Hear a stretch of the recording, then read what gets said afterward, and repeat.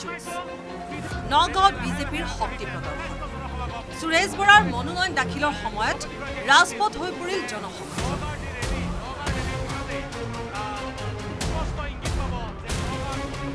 মুখ্যমন্ত্ৰী ডক্টৰ হিমন্ত বিশ্ব শৰ্মা যেনিয়ে কৈছে তেনিয়ে লাগিছে ৰাইজৰ নেতাও পৰা সৃষ্টি হৈছে বিজেপিৰ লহৰ কিছুদিনৰ আগলৈকে সুৰেশ বৰাৰ জনভীতি প্ৰবল নহলেও মনোনয়ন দাখিলৰ সময়ত নগাঁৱত দেখা গ'ল প্ৰবল জনশ্ৰোত আনকি সভাথলীত দেশত সুৰেশ বৰা জিন্দাবাদ দেখি বিচৰণ কৰিলে সমৰ্থকে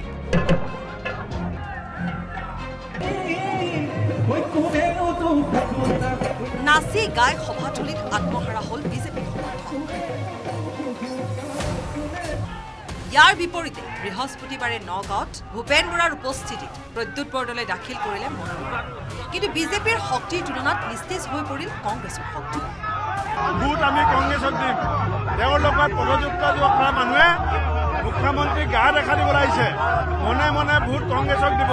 বৃহস্পতিবাৰে সুৰেশ বৰাৰ মনোনয়ন দাখিল কৰি মুখ্যমন্ত্ৰী ডক্টৰ হিমন্ত বিশ্ব শৰ্মাই নগাঁও বিজেপিৰ জয়ৰ দাবী তুলিলে আজিৰ জনসমুদ্ৰই এক স্পষ্ট মেছেজ পঠিয়াইছে যে নগাঁৱত সুৰেশ বৰা জিকিবই।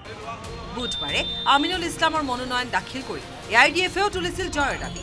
বিপৰীতে কংগ্ৰেছ তিনি নম্বৰ স্থানত থকাৰ দাবীও তুলিছিল কিন্তু বৃহস্পতিবাৰে কংগ্ৰেছেও নিজৰ প্ৰাৰ্থীৰ মনোনয়ন দাখিল কৰি তুলিলে জয়েৰে দাবী। কাৰ কিমান শক্তি সেয়া অৱশ্যে প্ৰতিপন্ন হ'ব নিৰ্বাচনৰ সময়ত। News desk report news eighteen